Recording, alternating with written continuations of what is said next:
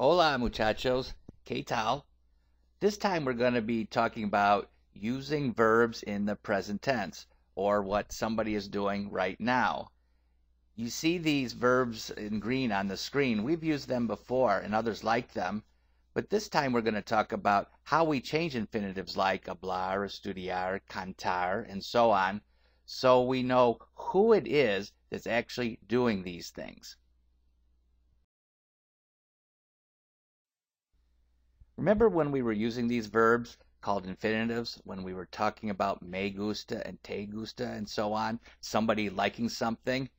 Let's look below each sentence and recall what we were really saying.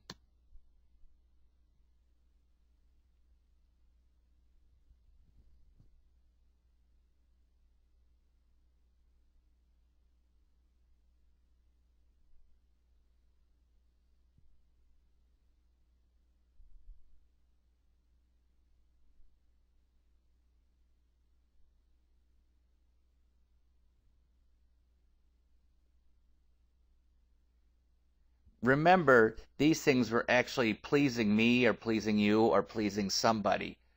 But next, let's talk about when somebody is actually doing these activities.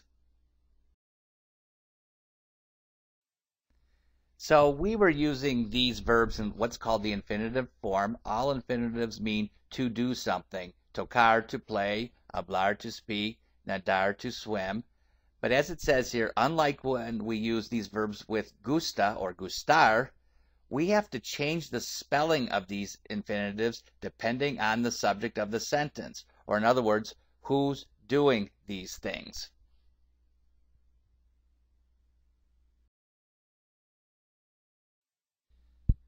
Oftentimes we'll use names like Jim plays the guitar or Mary speaking with friends. But sometimes we don't use names at all. Uh, in other words, we use something called subject pronouns. What that means is, what about saying I play, or she speaks, or we swim, and so on? Again, these are called subject pronouns.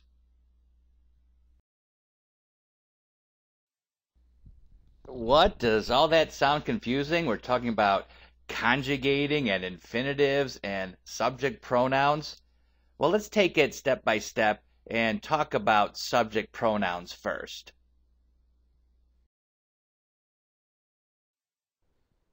And here's the chart we use to write down our Spanish subject pronouns. It's really convenient to have a chart like this because it helps us organize where to place our conjugated verbs. I think you already know these.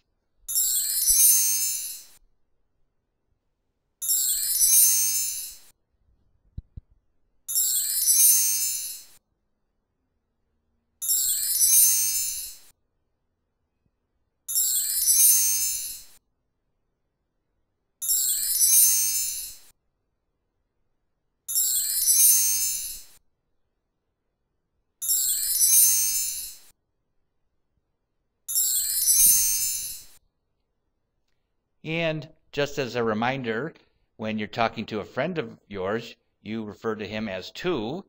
When you're talking to me, Señor G, you call me usted. If you are over in Madrid, say, and you're talking to a bunch of uses, you call them vosotros when you're talking to them. Um, and if you're in the Western Hemisphere, though, uh, say you're in Chicago or South America, Central America, or Mexico, uh, and you're talking to a bunch of use guises, you called them ustedes. Got that?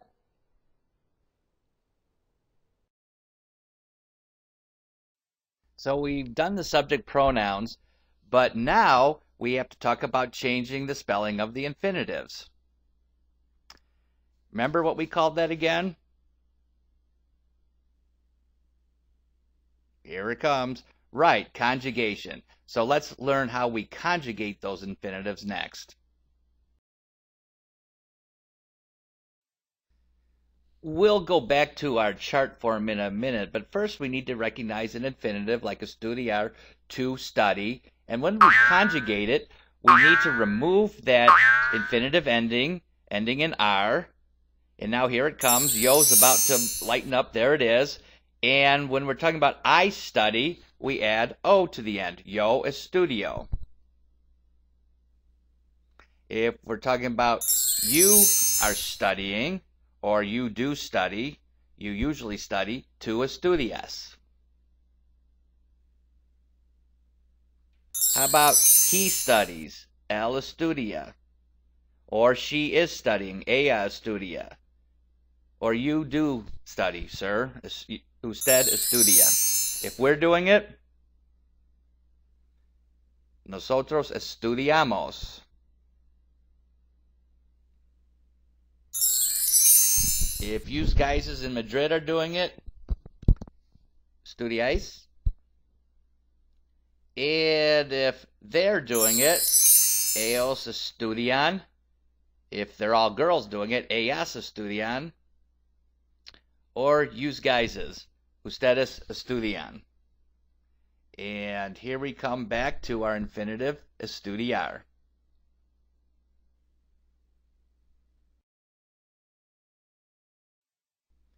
And let's do one more.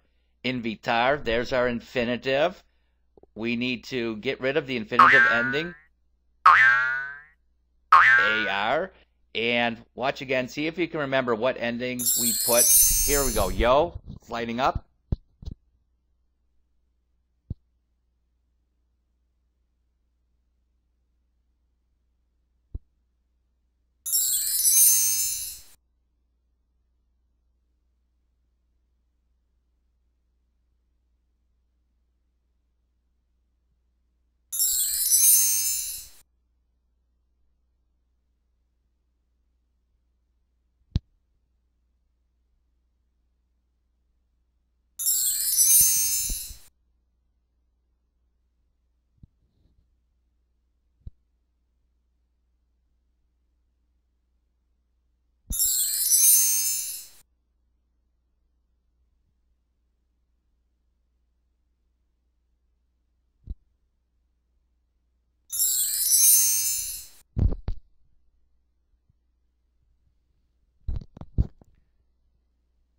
And here comes our infinitive back again.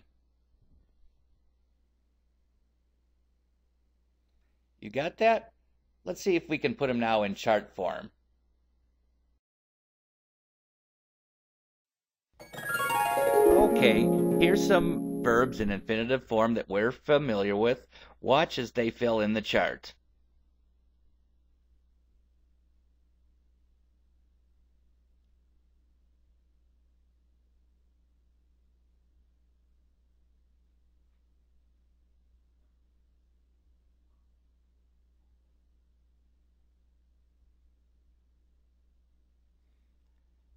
Okay, here comes Cantar. Can you do that one?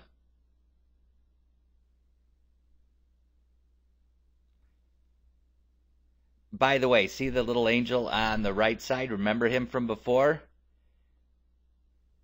He's there, remember, because these verbs are following the rules that we've been talking about.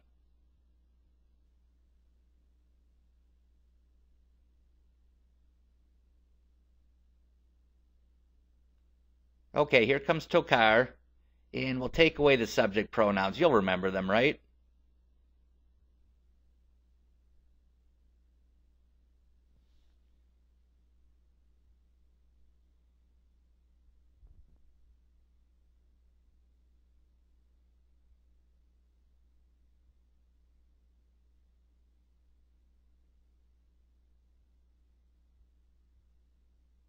And there you go.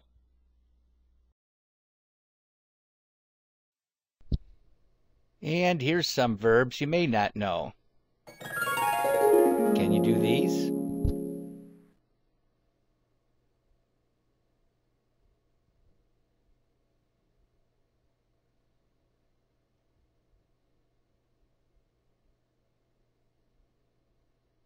Sure, they look the same, right? Does it really matter if you know what these words mean in order to conjugate them?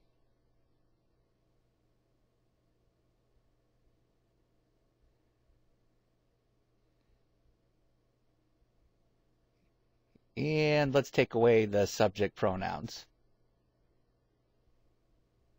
Does it matter if you know what ganar means? No, not really.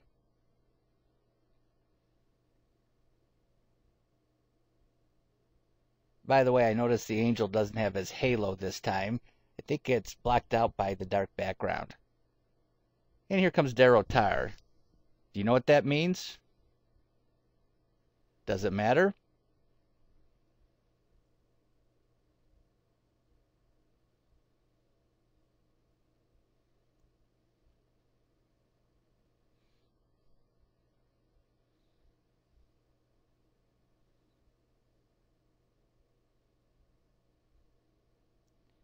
And finally, that was easy, right?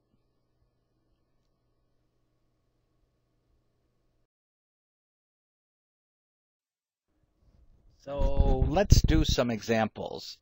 First one, I swim or am swimming in the ocean. Notice the next one, we could put a name with it if we wanted to. We could say two, comma, Eduardo uh, are singing in the auditorio.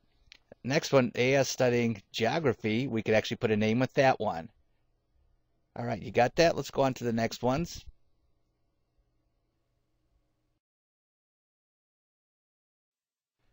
And sometimes we can combine names with subject pronouns. Look at the first one. Maria y yo tocamos las guitarras. We've combined a name with a subject pronoun, yo. Be careful when you see the yo, if it's combined with a name, it's nosotros. Same with Fred, Gertrude, y tú estudian. Even though we see two, you have two other names, and that is ustedes. Got it?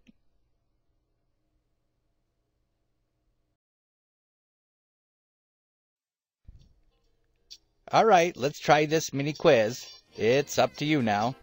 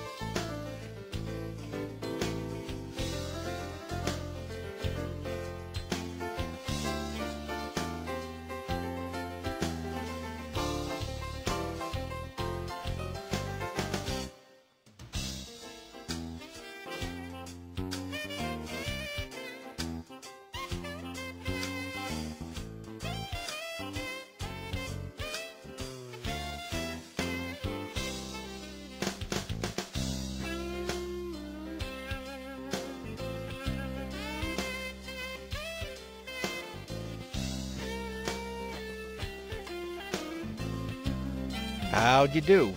See you next time.